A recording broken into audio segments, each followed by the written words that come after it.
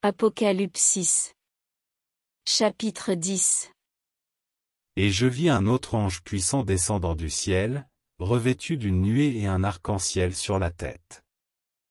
Et sa face, comme le soleil, et ses pieds, comme des colonnes de feu. Et il avait dans sa main un petit livre ouvert. Et il posa son pied droit sur la mer, et le pied gauche sur la terre. Et il cria d'une grande voix comme rugit un lion. Et quand il cria, les sept tonnerres firent entendre leur voix.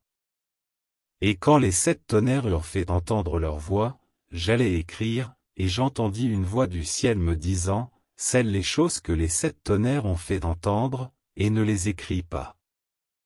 Et l'ange que je voyais debout sur la mer et sur la terre leva sa main vers le ciel et jura par le vivant pour les âges des âges, qui a créé le ciel avec les choses qui y sont, et la terre avec les choses qui y sont, et la mer avec les choses qui y sont, qu'il n'y aura plus de temps, mais qu'au jour de la voix du septième ange, quand il sera sur le point de sonner de la trompette, alors le mystère d'Élohim s'accomplira, comme il en avait annoncé la bonne nouvelle à ses esclaves les prophètes.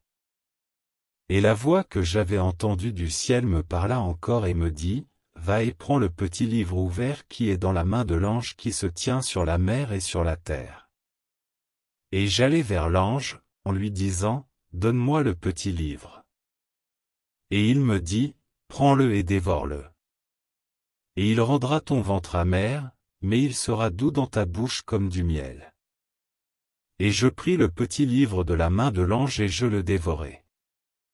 Et il fut dans ma bouche doux comme du miel et, quand je l'eus mangé, mon ventre est devenu amer. Et il me dit, il faut que tu prophétises de nouveau sur beaucoup de peuples, et de nations, et de langues et de rois.